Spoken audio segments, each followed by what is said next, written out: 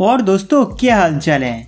आज की इस वीडियो में आपको बताऊँगा how to solve voltage signal not showing problem network signal full होने के बावजूद वॉइस ओवर एल का लोगो दिखाई नहीं दे रहे हैं।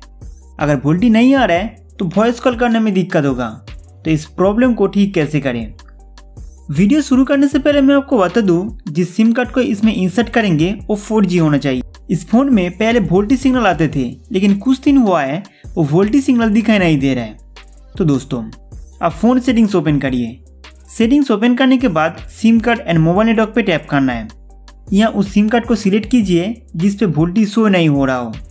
सिम कार्ड सेटिंग्स में कुछ इस तरह के इंटरफेस देखने को मिलेगा। यहाँ पे नेटवर्क टाइप प्रेफर 5G या प्रेफर LTE सेट रखिए। अगर वोल्टी सेटिंग्स ऑफ़ किया हुआ है तो उसे टर्न ऑन कर दीजिए। नेक्स्ट वाईफाई कॉलिंग ऑफ़ रखिए। इसके बाद साइड में दी गई पावर ऑन दबा के एरोप्लेन मोड को ऑन ऑफ़ करना होगा।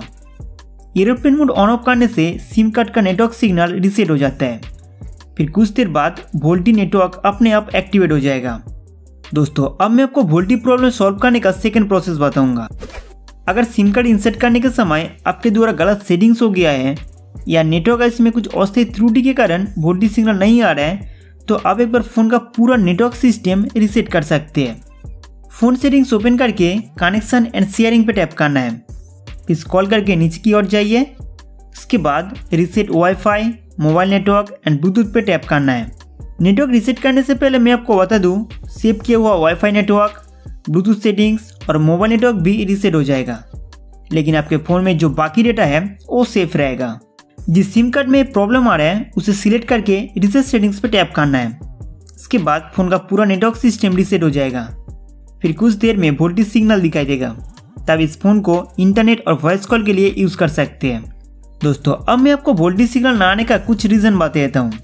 अब मान के चलिए, पहले हमारे मोबाइल में वोल्टेज सिग्नल तो आते थे, लेकिन अचानक आज वोल्टेज नहीं आ रहा है।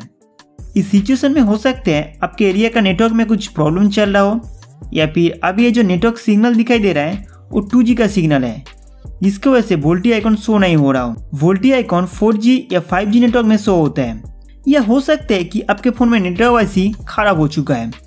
अगर नेटवर्क वाईसी में कुछ इश्यू हुआ है तो इस वीडियो में बताया गया कोई भी ट्रिक्स आपके लिए काम नहीं करेगा। इसको ठीक करने के लिए नियरेस्ट सर्विस सेंटर या रिपेयर शॉप पे लेके जाना पड़ेगा। इसके अलावा आप उस ऑपरेटर के कस्टमर केयर पर कंप्लेन भी कर सकते हैं कि हमारे सिम कार्ड में पहले वोल्टी आते थे, लेकिन अब नहीं आ रहे हैं। अगर सिम कार्ड में कुछ प्रॉब्लम है तो कस्टमर केयर वंदा आपका प्रॉब्लम सॉल्व कर देगा। तो दोस्तों, उम्मीद करता हूँ कि ये वीडियो आपके लिए बहुत हेल्पफुल था। तो हमारे वीडियो देखने के लिए आपको बहुत बहुत शुक्रिया।